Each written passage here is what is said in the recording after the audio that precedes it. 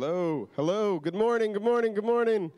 If you guys could uh, find your seat, please say hi to someone on the way to your seat, and then I'll get going with announcements. I'll give you guys about 30 seconds or so. See how fast you are. See how, how much awake you are this morning. That was good. It was good. It was good.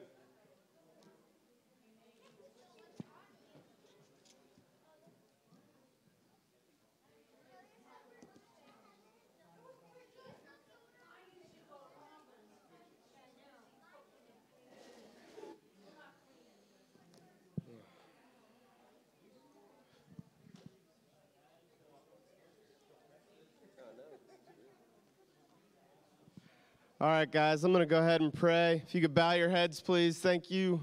Thank you. Dear Heavenly Father, oh, man, thank you for bringing us here. Uh, thank you for giving us the opportunity to have this awesome building, this awesome church with all these awesome people in it. We can come, glorify you, bless you, or praise you, and, and, and just get, get a blessing from you. I, I, I bless the worship service, I bless the sermon, and I bless the fun we're going to have at the picnic. In Jesus' name I do pray. Amen. All right, so speaking of the picnic, the picnic is today. Um, I've been going to this for 30 years. um, if you don't know where it's at, it's super easy to find. You go out on, on Route 11 and 15, make a right, go down to Papa John's, make a right, and then you'll turn on Ballfield Road, make a right. That's three rights and you're there. Make a right, Papa John's, make a right, right on Ballfield Road. Uh, VBS is coming up. That is closing in fast. It's just a few weeks today, uh, a few weeks away. I'm going to go through a few things, but if you have any questions, please see Linda Hunt or Mandy Melanja. Okay, so VBS is July 20th through the 24th. That starts at 6 p.m. and it goes to 8:30 p.m. Uh, there'll be a light meal provided at 5:30 p.m. The sign-up sheet um, for registration is out in the foyer. If you do have kids that want to sign up or friends uh, that have kids, please sign up so they get a good idea of, of, of how many people are going to be attending, how many kids are going to be attending. Um, there's also a sign up sheet for, for snacks plus meals, and, and there's a lot of. Uh, there's a lot of lines on that sign up sheet. So if we could all pitch in to help, that'd be awesome. VBS is a huge outreach. I remember going to VBS in this church way back when. Uh, my, uh, my brother and my sisters, a lot of friends.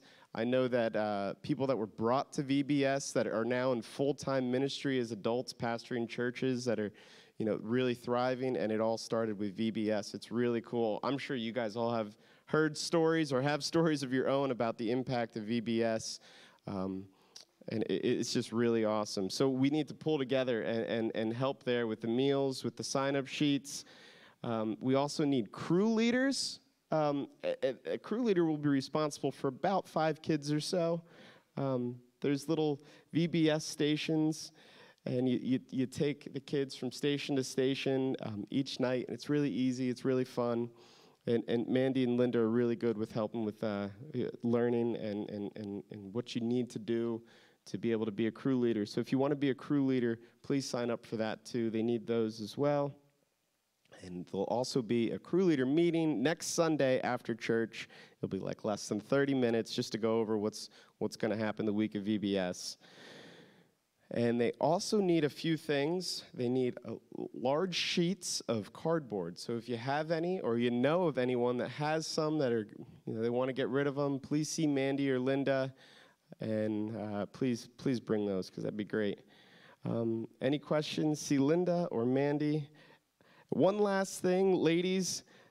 There is a ladies' brunch coming up. That is Saturday, July 11th at 10:30 a.m. That's here at the church please try to attend and please bring a dish. All right, thanks, guys.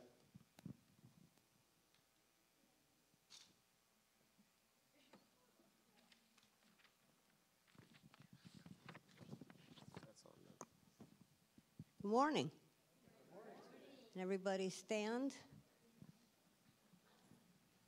Uh, do come to VBS. I remember David being in VBS and he was praying over snack at that time. Uh, he probably doesn't remember that. 30 years ago. Oh boy, I'm old. Okay. Join me in Matthew 28. Therefore, go and make disciples in all the nations, baptizing them in the name of the Father and the Son and the Holy Spirit.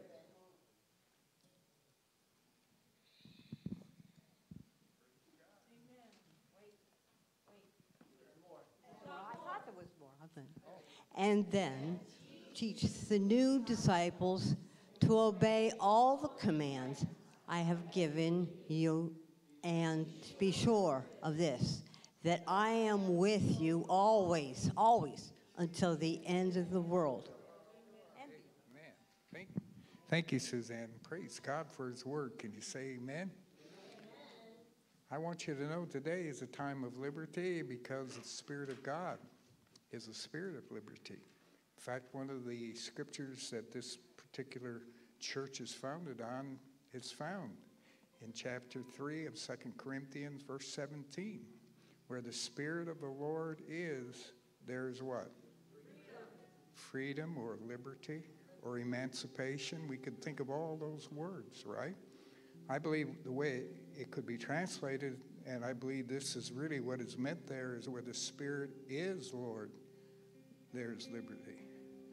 And today, as we have gathered and assembled together, we want to come under the Lordship of the Holy Spirit, who always points us to Jesus. And so today, we want to open our hearts to Him, let Him have His way. And as we do, something awesome and powerful will happen in your life. You're going to be touched by God today, I believe, with all of my heart. And how many know that that liberty or freedom He gives you and He gives me, we've got to make sure that we maintain it. We don't want to go back into anything else, another yoke of bondage, do we? But we want to be free, and Jesus has come to set us free. Amen. We're going to invite the precious Spirit of God right now together as we look to Him. Dear Spirit of God, we know you're here. You came with us. You're inside of us. You're called alongside of us. Come now with manifestation. Manifest yourself. Manifest yourself in our midst. Touch our lives. Help us, O oh Lord, to enter into worship with appreciation for you, love for you. We need help, Holy Spirit. We welcome you. Oh, we welcome you. We welcome you. We welcome you. We welcome you. Hallelujah. Hallelujah. Oh, we praise you right now. Glory to your precious name, Jesus. You are the Lord of all. Hallelujah. You're the same yesterday, today, and forever. We love you, Jesus. We magnify you. Glory to your name. Glory. to you. Thank you, Papa God. Thank you, Papa God. Hallelujah.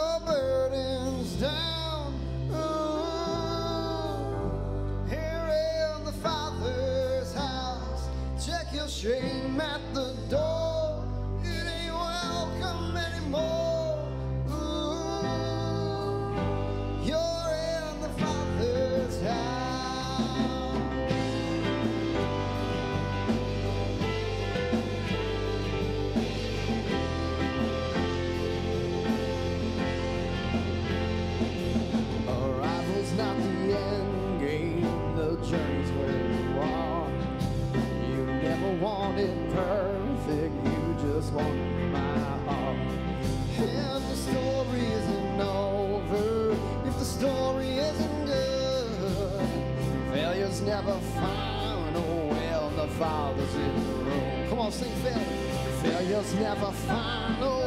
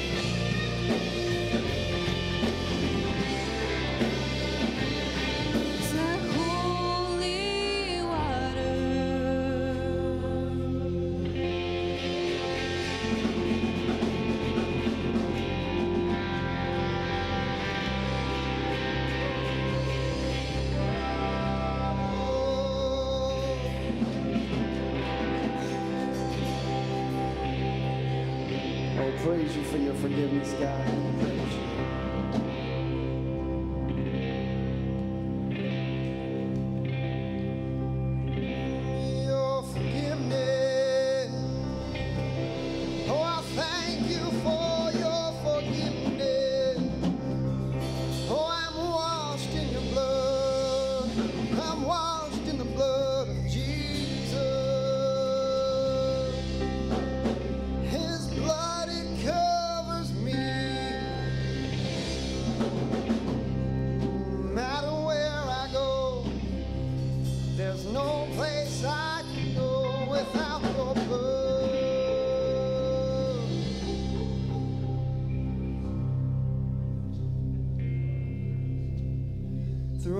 Through every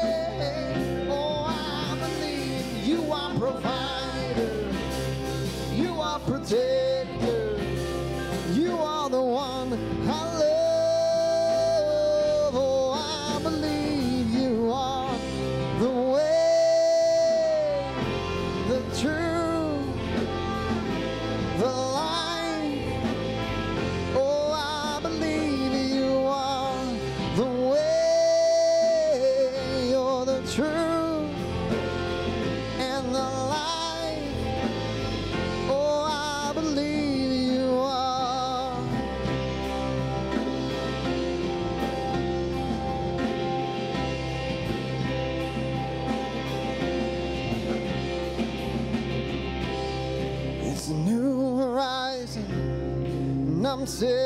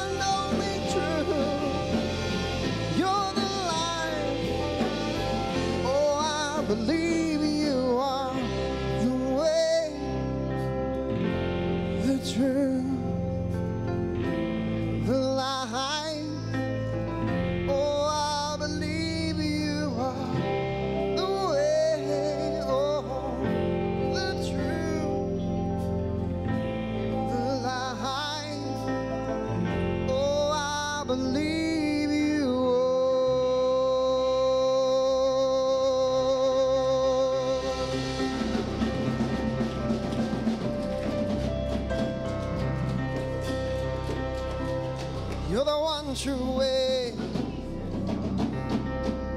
You're the only truth. You're my lifeline. Oh.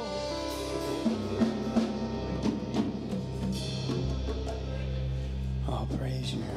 Praise you, Lord. Can we just praise Him right now together, church? Just this whole group together.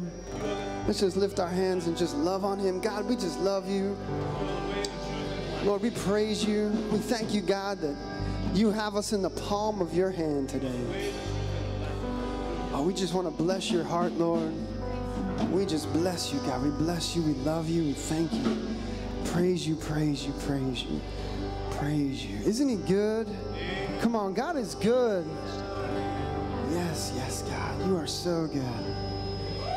And isn't he just totally, totally full of love? You know? Sometimes it's hard for us. We're humans. We don't always have the love that we're supposed to have. We, uh, we're supposed to have that love of God that just flows from us. And it's hard to do that. But, but it just always happens with him. He, it doesn't end with him. He is full of love. And you know, he wants what's best for you and for me. Wants to see us prosper, amen? He says there's no room for poverty for his children. There's no room for bitterness and, and depression and despair. If you have any of those things going on in your life, I just want to encourage you right now. He's got something better than better for you. He's got something better than that. He has plans for you, not to hurt you or harm you, but to prosper you. So we just need to speak into our future right now. There are going to be better days ahead. It's going to be better than, better than, better than I could dream. It's going to be better than, better than, I could dream. It's to be better than, better than, better than I could dream. It's gonna be better than, better than, better than I could dream.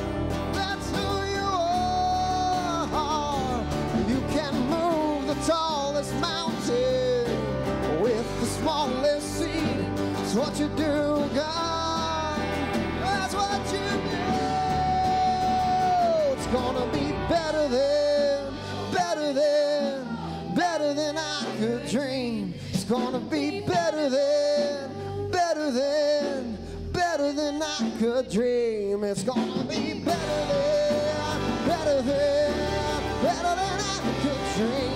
It's gonna be better than,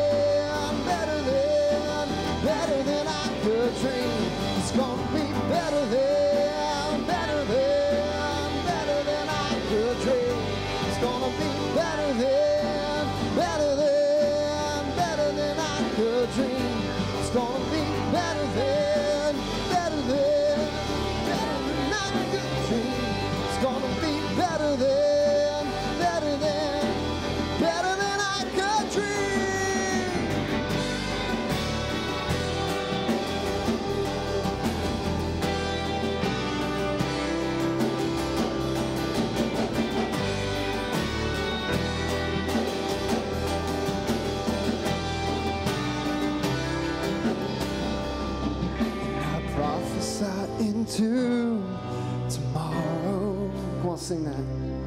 And I prophesy into tomorrow. Let's declare that. Come on. I prophesy into tomorrow. We will see the goodness of our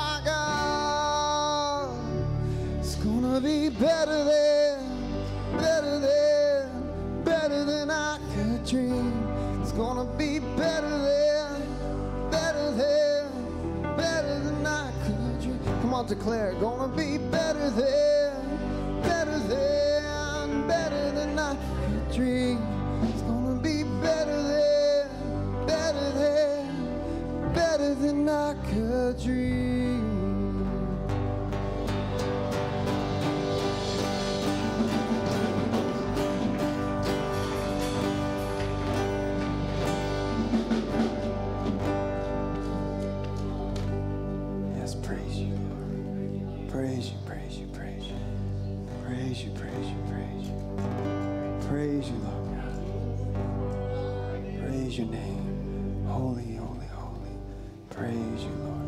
You, praise you. Thank you, thank you, Father. Thank you, Father.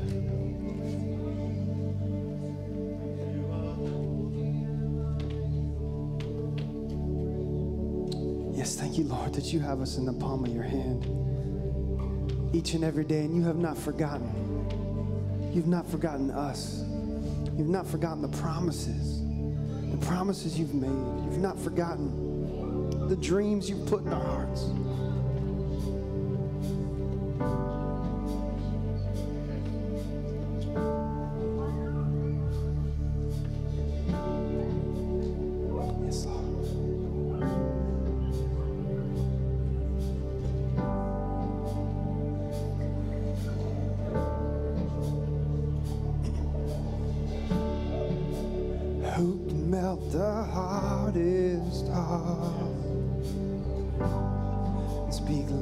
Into my soul?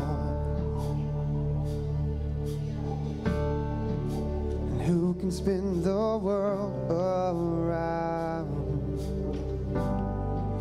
and hold me ever close? And who can search the depths of me? Who can love me to my core?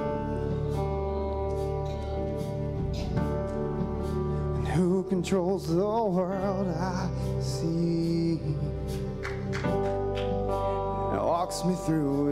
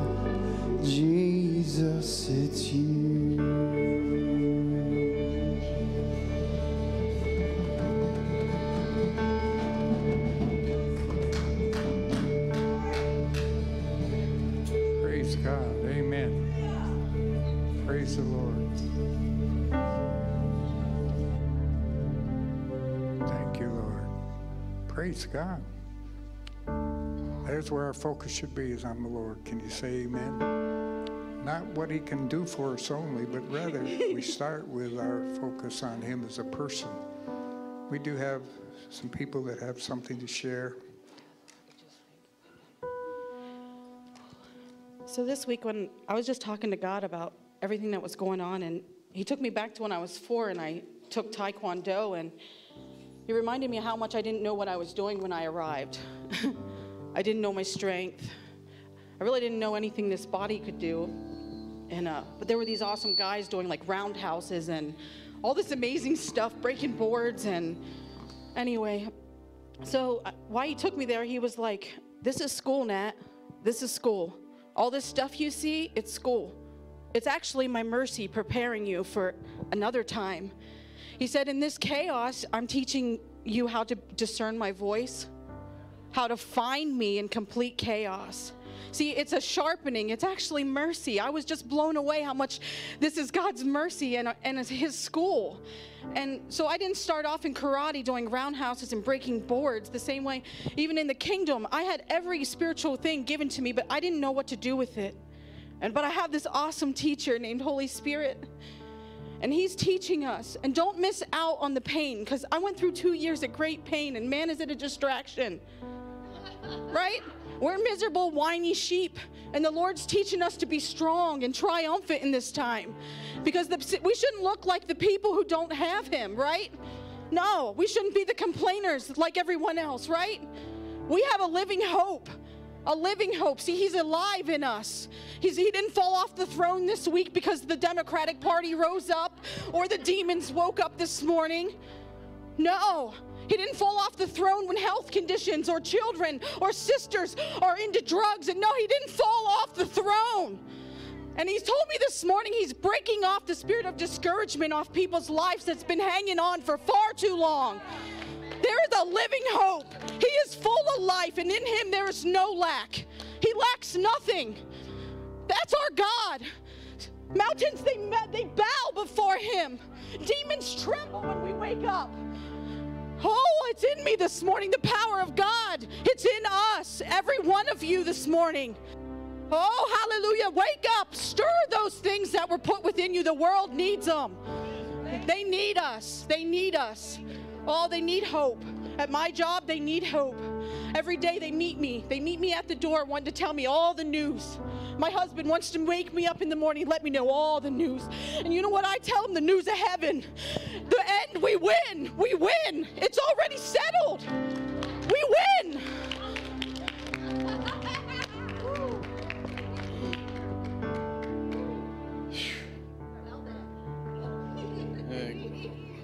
God's mercy is so good.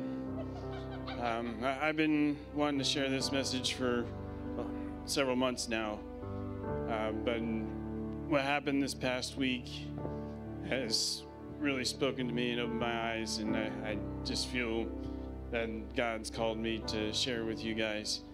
Um, first of all, um, this may be a longer message. I don't want to ramble on or anything like that, but at any rate, um, it's just been incredible. But anyway, for those of you who don't know me, I own my own tree service. And two years ago, we had an amazing year, you know, one of the best years we ever had.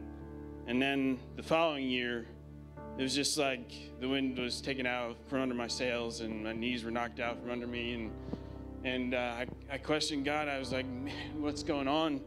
I didn't know what was happening, and I, I, got mad. I, I started to curse God, and I started to get angry, and uh, I started to question. I was like, what is going on? I just don't know what you're doing. And I thought you were supposed to take care of me. You know, my life was falling apart, and it was just stressful thing after stressful thing, moment after moment was going by. And it was just getting harder before it was getting better. Anyway, this year came along. I laid awake one night and um, I couldn't get to sleep. And then the Lord spoke to me and says, Hey, um, I want you to start a nonprofit and um, I want you to go ahead and um, teach prisoners through the work that you do a skill so that when they get out of prison that they'll have something that they can build, rebuild their lives on and stuff. And i thought that was wonderful and stuff and i looked into it for a little bit and but i, I just told the lord you know what? It's in your timing you know? Anyway uh, little few months went on and we started getting busier and busier and busier. And now this has been the busiest year we've ever had. And it's been great but it's been super super super stressful. Just dealing with employees um, dealing with all the headaches of trying to make sure things go well and so on and so forth. And then all of a sudden Thursday came by, and the Lord just spoke to me, and it just opened my eyes. And uh, the Lord said, You know what? The reason why you're going through all this stuff is because I'm bringing you broken people. Broken people. And I'm trusting you with a few things right now. So in the future, then I can bless you with many things later on, you know. And um, anyway, I don't know who needs to, to hear this, but back then I, I, was real selfish, you know. I was super selfish. And um, we need to get out of ourselves. We need to get out of the way. We need to let Jesus just take over. And we need to just let him do his, his work.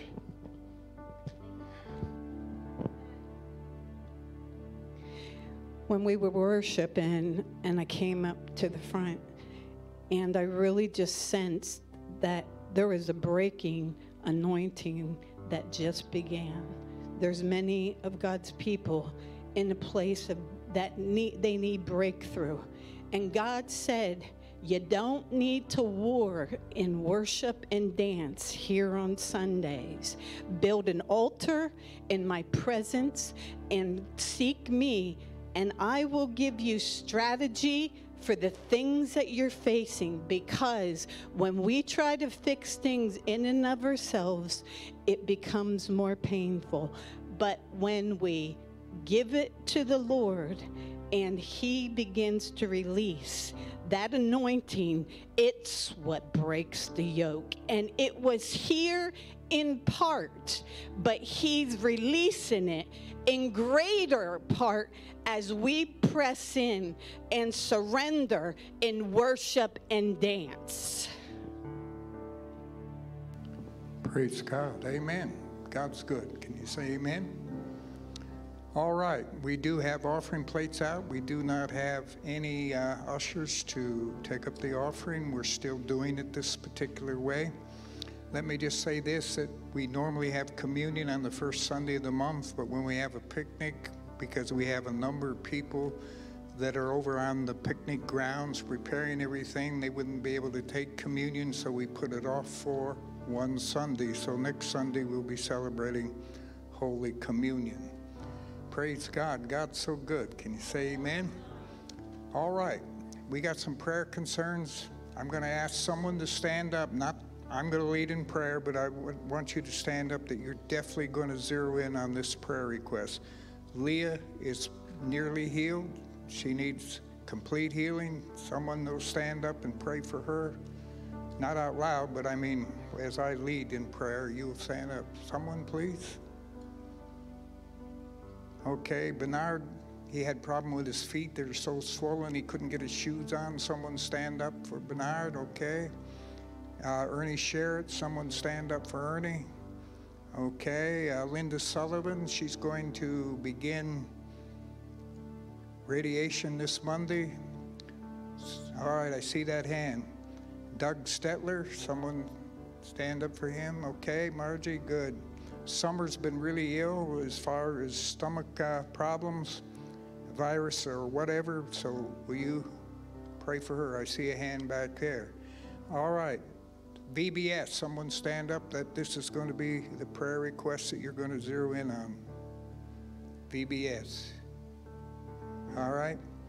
And then our nation. All of you stand up for our nation. We need to pray for our nation. All right. Agree with me and make sure you lift that one need up that you have committed to. Amen. So that every need is covered for the glory of God. Amen. Dear Father, we thank you for every time you have intervened on our behalf. We thank you as we look over the years that we have known you, how many times you have come on the scene to minister to us, to bring us through a very difficult place, a difficult circumstance. You've never, never failed.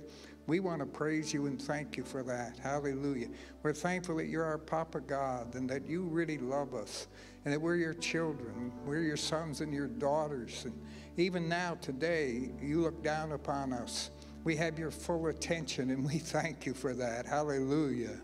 And we just ask that you heal today, not only Leah, but you heal Michelle Melocrino's father, that you will minister to her daughter, who is now in a rehab place. Lord, just undertake. Heal Bernard, heal Ernie, heal Linda, heal Doug and Summer. And Father, we just ask that you would just move in a mighty way with VBS this year. Bless every worker, every person, every uh, area that needs help, every position that needs to be filled. I ask that you do it in the name of the Lord Jesus Christ. Now, our nation, Lord, we just say to you, help our nation. May there be another great awakening. We give you praise in the name of Jesus, and we thank you for it. We ask, Lord, may we have our part by reviving us, Lord. Do that so that we can be on the cutting edge to touch the lives of many in Jesus' name. And everybody said, Amen. Amen. You may be seated.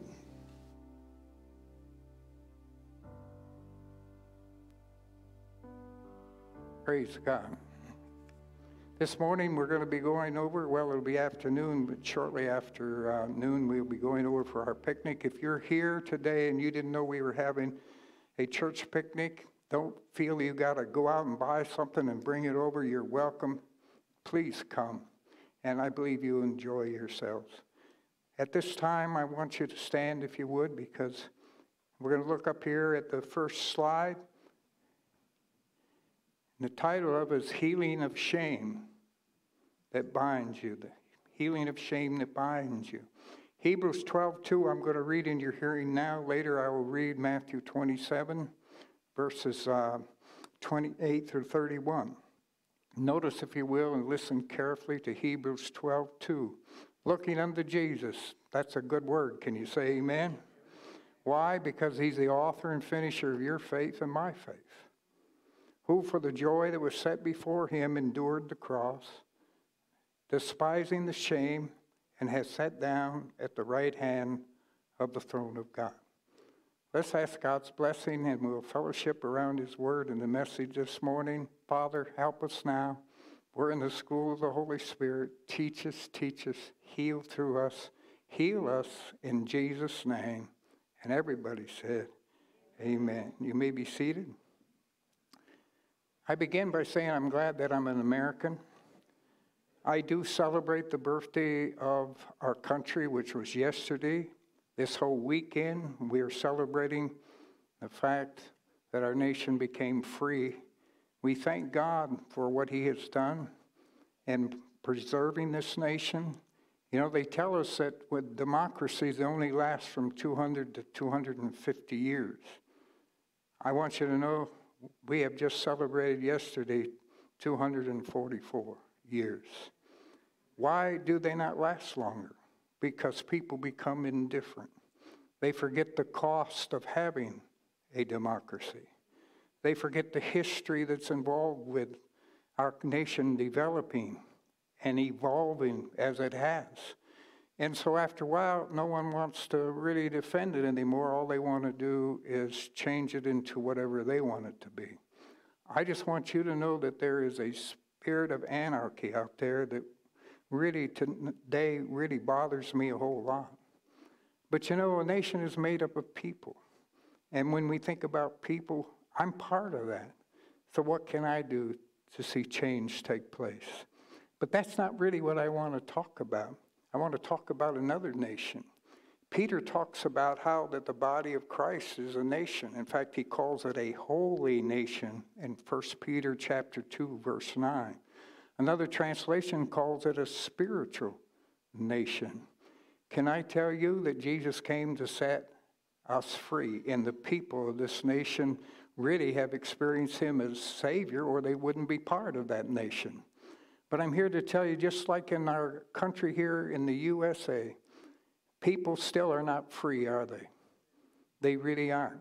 Can I tell you that in the nation that is a holy nation or spiritual nation, which is the body of Christ, so many of God's people are not free? I'm a counselor. I've been a pastor for years.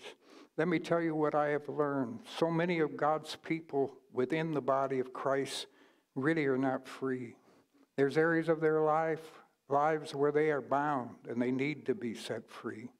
In fact, when the Lord put this church on my heart in order for it to be planted, one of the things He wanted was, first of all, to have us look at it as a, a spiritual hospital because there were so many hurt people, so many people who needed their damaged emotions healed by the power of God. And then the other aspect was an armory where, after they were healed, they could get equipped. They could be able to discover what their, their gift is or their gift mix is so that they could go to the battlefield and be used of God to help others. This message this morning may not apply to you, but I want you to know there's people that will watch this service. And when they watch it on Facebook, or some other way. I'm here to tell you there's going to be people that are touched. If it doesn't really minister to you, then maybe you could understand how you could be a person that could bring about change in a person's life by helping them to understand how that they can really get healed of the shame that binds them. When I think about shame this morning, I want you to, I want to give you a brief definition of it. Like all definitions, they never say the whole story. But look up here, if you will, on the screen, please, and notice shame is a painful feeling. That's a mix of regret, self hate, and dishonor. Feeling shame or ashamed is one of the most miserable feelings a person can have. Can I tell you something? Alcohol, drugs will never drown it out because when you're sober, when you're not high, you're going to still feel that, that shame down deep within. In the book, Letting Go of Shame, Ronald Potter Efron and Patricia Potter Efron, they list some examples of shame. One of those examples, and I will give you the list they have, would be I am defective. Another one, another one is I am dirty. Another one is I'm incompetent. Another one is I'm unwanted. Let's enlarge on that one just for a moment. Unwanted, unloved, unappreciated, uncherished. How many times we feel those kinds of emotions and those kinds of feelings? I am weak. I am bad. I am pitiful. I am nothing. Let's think about that one for a moment because some people really feel worthless. They feel invisible. They feel unnoticed. They feel empty. Now, I know that some of you actually feel some of this, but uh, can I tell you something? Sometimes we're so sophisticated we hide all of these things. How many understand that? We really do. And sometimes we don't feel it's a safe place to really share how we really feel. But I'm here to tell you that Jesus Christ wants to heal you today. He wants to set you free from shame. Let me tell you about shame. It develops as a slow, relentless accumulation of such thoughts, one thought, insult at a time, delivered to ourselves over weeks, months, and years. And we have people that come along and help with that. How many know that? People that have been really uh, individuals that have been negative about us and try to tear us down and insult us. Notice that each of the previous statements starts with, I am. And when you think about that, this reinforces our definition of shame as a state of being that goes far beyond anything we do or fail to do. I'm here to tell you that because of shame, we need someone to help us. We need someone that is greater than a psychiatrist, greater than a psychologist. They can help to a degree, but they're not the answer because they cannot heal us of the shame. They cannot take that out of our hearts and out of our lives. And I'm here to tell you today there's someone that can do that. And you say, Well, I already know that. Well, I, I, want you to get beyond what you know, and I want you to grab hold of the truth of God. I want you to open up to the Spirit of God so He can do something radical down deep in your heart, that He can perform uh, spiritual surgery, because that's important. Could you say amen to that? That person is none other than Jesus Christ Himself. In a moment, I'll have Lillian put up some scripture, but before we get to Hebrews chapter 4, verse 15. Let me just share with you verse 14. It tells us this We have a great high priest that has passed through the heavens. He's gone through the atmospheric heaven, the starry heaven, into the abode of God, which is the third heaven. Can I tell you, even though he has passed from this earth up there, and he's our high priest right now. He's closer to you than I am. He's closer than any psychiatrist, psychologist, any of the fivefold ministry. Jesus Christ is closer to you right now. Now, notice, if you will, verse 15 that follows verse 14. Notice what it says up here. This high priest of ours understands, say the word understands, our weaknesses for he faced all of the same testings we do, yet he did not sin. Let me read this same verse from the message and we'll put it up there for you. It says, We don't have a priest who is out of touch with our reality. Did you hear that? He's not out of touch with your reality, where you are today. Thank God for that. So many times, people who minister to us, they sometimes come with pat answers. Sometimes they give you book knowledge, but they can't really touch our lives like they should. I'm here to tell you that Jesus always uh, deals with our reality. He touches us with reality. He's been through weakness and testing. He's experienced it all, all but the sin.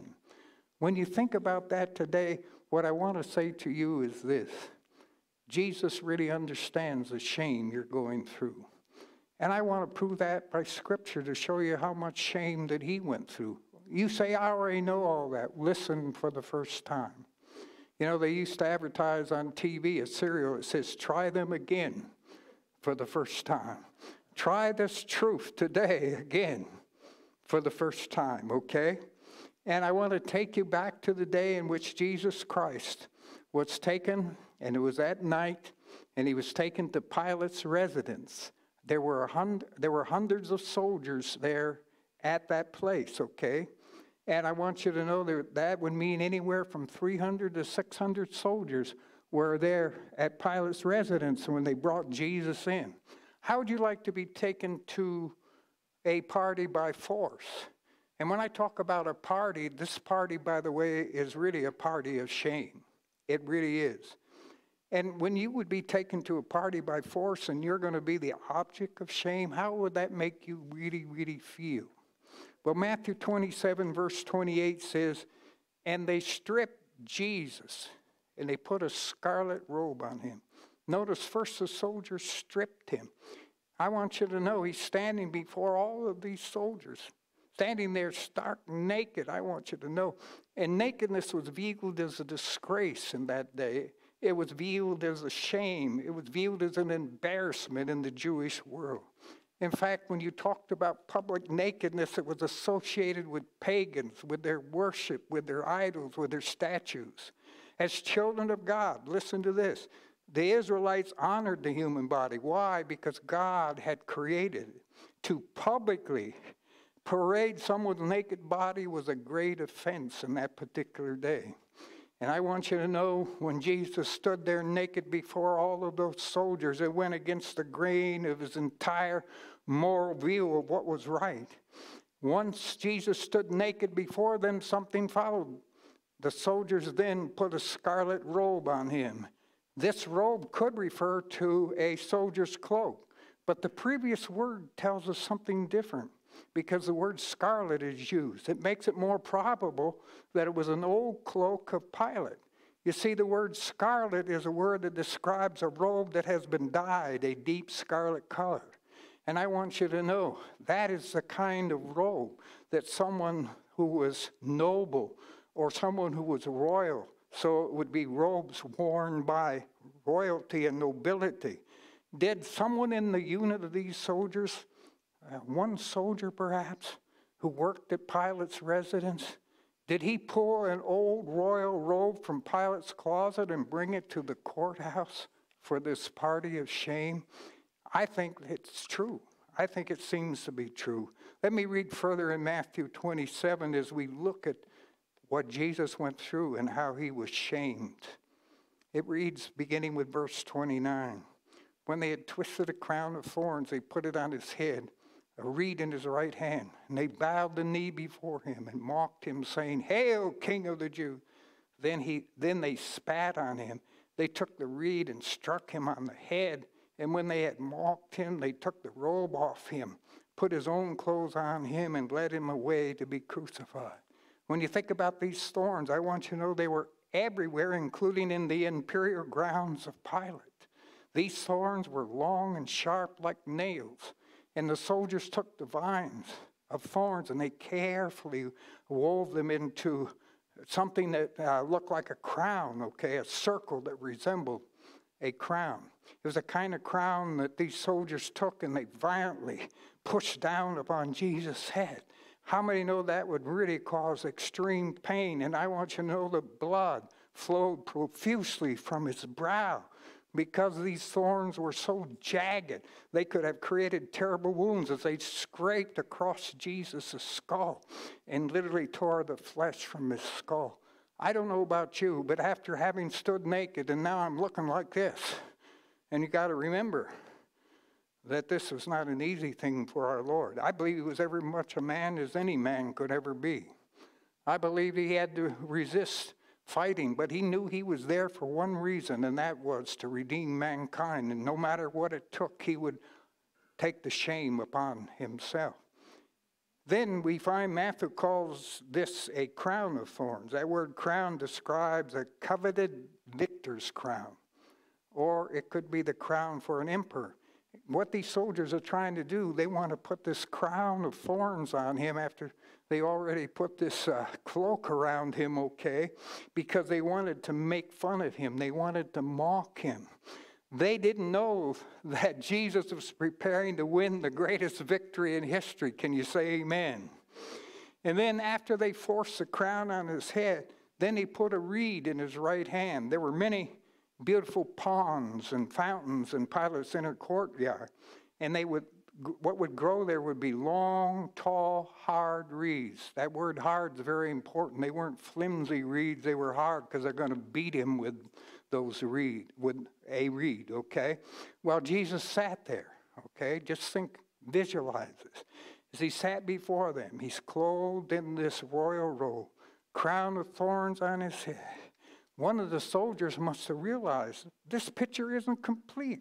So he pulled a reed from one of the pound, ponds or fountains to put in Jesus' hand. And this represented a ruler's staff. It really did. And I want you to know that in that particular day, when you think about even the coins of the emperor, it would picture him with a scepter or a staff in his right hand, okay? This is what they wanted to do. And so they minted these coins in honor of the emperor. And so that with this discarded royal robe, about his shoulders, a crown of thorns set deeply in his head, the blood drenched his face. And I read the soldiers bowed their knee before him and mocked him and saying, Hail, King of the Jews. My, oh my. How would you like to go through that disgrace? How would you like to go through all of that? Okay? And when these Pilate or these soldiers of Pilate uh, called out and said, Hail, King of the Jews, that word hail was a word that was always used in, in acknowledging the honor that they would give Caesar when they saluted him. But now they're just mocking Jesus, okay? And so we find that they really shouted out this mock salute because again wanted to embarrass him they wanted to mock him and then they spit on him boy i don't know about you. I wouldn't want anybody spitting in my face. Have you ever had that happen? You know how you felt. And then they struck him on the head. And that word they i want you to know it refers to the entire unit of the soldiers who were present there in pilate's courtyard that night. So each soldier would pass by Jesus, they would first, in a mocking way, kneel before him, okay? Then they would lean forward and spit in his face. Then they would take the reed from his right hand and hit him over the head. Then they would put the reed back in his right hand, and the next soldier would come by. And that was repeated time and time again. And when you think about 300 soldiers to 600 soldiers, when they got done spitting on Jesus and striking him with a reed, I want you to know that was something terrible. And believe me, this is what they wanted to do to mock Jesus. You know, Pilate accused him of wanting to be king. I'm here to tell you he is the king. Can you say amen? He's the king of kings and the lord of lords. Let me tell you about these soldiers.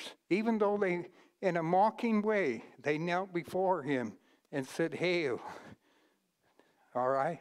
Do you know that Philippians chapter 2, verses 9 through 11 tell us this?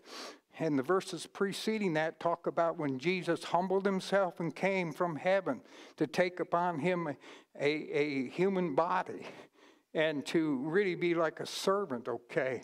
How that after all of that, and he was crucified, Philippians chapter 2, verses 9 and 11 talk about where God has highly exalted him and given him a name above every name, and that every knee shall bow and every tongue shall confess that Jesus Christ is Lord. Isn't that neat when you really think about it? Well, I tell you what, they'll give an account for their actions if they didn't come to Jesus before they die. Then there's the shame of the cross, which I read about early on from Hebrews chapter 12, verse 2. And notice, it tells us how unpleasant this cross really was because Jesus despised it. I think that's very important because it reveals something to all of us. It reveals exactly what Jesus felt emotionally about his time spent on the cross. And according to this verse, he despised the whole experience. I want you to know that when you think about the cross, it was degrading, it was crushing, it was humiliating. In fact, when you think about crucifixion, it was the lowest, cruelest, and most barbaric form of death in the Roman Empire. Criminals were crucified. But he was willing to take your place and mine. Can you say amen? Jesus was hung on the cross naked. How would you like to hang on a cross naked? Looking the way he already looked, okay? And remember, when they took him away, he went to the whipping post first before they hung him on the cross, okay? So Hebrews 12, 2 goes on to say that Jesus despised the shame of this experience. And when you think about the word shame, it really depicts disgrace, embarrassment, or uh, human, excuse me, uh, of humiliation. I'll get that word out. I'm here to tell you today when you and I come to Jesus, our high priest, he can feel what we feel. He can be touched by how we feel. Remember, I told you he's closer to you than anyone. He loves you. He died for you. He went through all of this shame because he cared about you. Now, think with me for a moment. Some of the shame that we experience, the way we were raised, I believe that how we were shaped is so important. Some of us didn't have father and mothers that really nurtured us. They didn't really build us up. They only talked to us in negative terms. Some of them were abusive. Then we can understand some people have experienced rape and the shame of rape. Believe me, I know a little bit about that. I've never been raped, but my wife was raped. And I know what she went through, and I know how, what it felt like being a spouse of, of, of, of someone who was raped. Then you could think about sexual sins. You could think about a lot of things. I'm here to tell you, whatever you're feeling today, and I'm here to say this to you that if you have shame in your heart, even to a little degree, there's a reason for that. And Jesus this day wants you to put that on Him. Can you say amen? We believe He bore our sins, we believe He bore our sicknesses. I believe He took our shame. Can you say amen? And because He took our shame, I believe that we need to put that shame on Jesus and then say, Jesus, heal me. And when He heals you, you will be free of it. Hallelujah. And then you begin to not only know who you are in Christ in your head, but you're going to start to walk in it. You're going to start to experience it. There's going to come a freedom inside of you because that healing will take place down deep inside. Over the years, I've talked to people who have for years had one little thing or big thing in their life that they never felt that they got through it. They felt like this thing haunted them. It would always appear again so often. I mean, when I say appear, it wasn't something you saw, but I mean, it would come back into their lives and their thought processes and so on. I'm here to tell you, God wants to really set you free. He really, really does. I'm asking you right now to think about this one verse, and we're going to put it up here if you look on the screen. It's Isaiah 61 7, because it's a promise to you and to me today. It says, Instead of their shame, my people will receive a double portion. And instead of disgrace, they will rejoice in their inheritance. That was one translation. Let me give you the other one that's up there, okay? Instead of shame and dishonor, what does it say now? Isn't that neat when you think about it? God does that for you and me. He really, really does. But the important thing is get it out of the closet where you feel that shame and let Jesus take care of it. Let Him heal you of it as you place it on Him, and He, because He's already borne it. You stand in the presence of God? Hallelujah.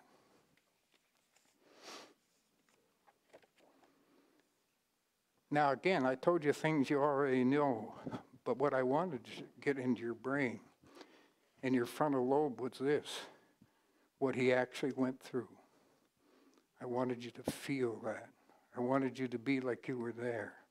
And because you were there in the moment by the Spirit of God, you could understand He understands the shame. He understands it right now.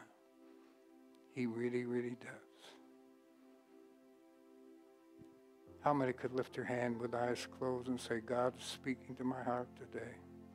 Would you put your hand up? Are there others?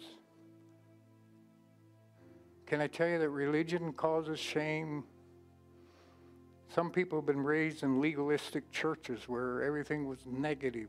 They were put down if they did this or that. That's why we lost a whole lot of youth in the churches because of that. Yes, we're to hate sin, but we're to love the sinner. We're to hate sin, but we're to love the Christian. Can you say amen? I'm going to ask you to come forward. I know there's a picnic, but I, I believe you need to come. You need to put this shame on Jesus and ask Him to heal you down deep inside. Amen.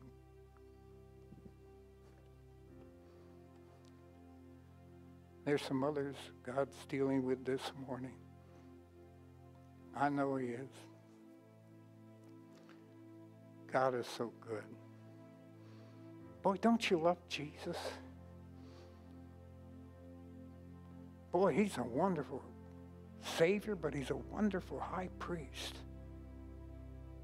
He really cares about us. I think there's some more here.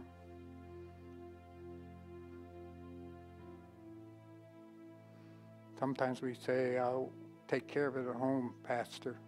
Hmm. I'm here to say to you today, God wants to touch your heart. He wants to touch your life in a special way.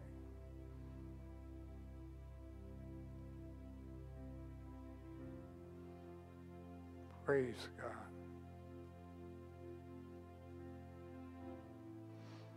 Praise the Lord. They're all on one side of the altar here, but that doesn't matter, does it? Amen. Praise the Lord. God's good. Here comes a br- brother here. He's, uh, praise God. Amen. Brian, good. Someone else that God's dealing with today.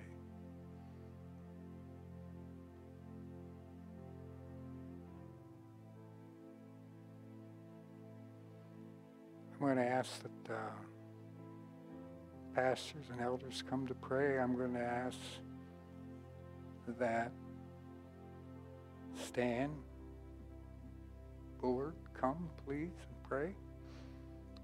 I'm going to ask another guy here that needs to come. He's got a biblical name called David. Needs to come up here and pray for some people. Praise God, David.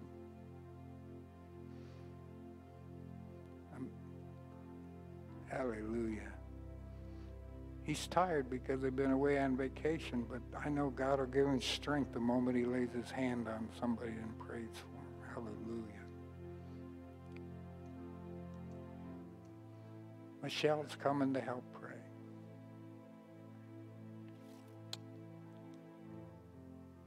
Praise God. You know, I, I said to myself, Jerry, why would you preach on shame on Fourth of July weekend? I said, I wouldn't choose to do that. God put it on my heart. And there's a reason for it, because he wanted to minister to some people in this congregation. I ask you that will watch this. Maybe you're watching it live or you'll watch it later. Right there where you are in your living room or wherever you are. I ask that you will come to Jesus right now. First of all, it always begins when you deal with shame of asking Jesus in your heart, in your life. But even when you do that, you need to further let Him heal you from shame. Right where you are right now. I'm just believing that the Holy Spirit is touching your heart and ministering to you big time in Jesus' name. I would ask that if you've been touched by this message or any of the messages that are preached here by our pastors and outside speakers, that you would contact us. Let us know that you are being touched. And if you have prayer concerns, get on our email and, and we will pray for them. We definitely will. God bless you. Bless them, Father, wherever they are when they watch or hear this in Jesus' name. Amen and amen. Praise God. Hallelujah. Thank you, Jesus.